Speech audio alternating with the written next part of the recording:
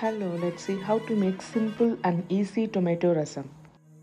For making powder, take a mixer, add 1 teaspoon of cumin seeds, 1 teaspoon of pepper and 1 teaspoon of coriander seeds. Grind everything into a fine powder. Next take a mixer and add about 3 to 4 pieces of garlic and grind it. Then add 1 medium sized tomato to it and grind it into a fine paste.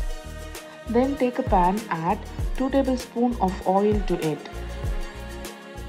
Once the oil is heated, add half a teaspoon of mustard, half a teaspoon of cumin seeds and some curry leaves into it.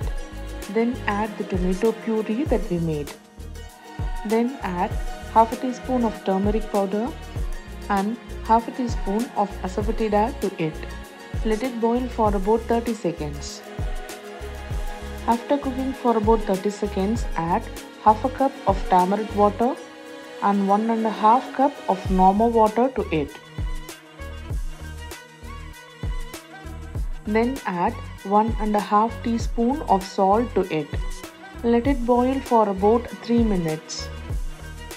After cooking for about 3 minutes, add the rasam powder that we made and turn off the flame. Then add some fresh coriander leaves.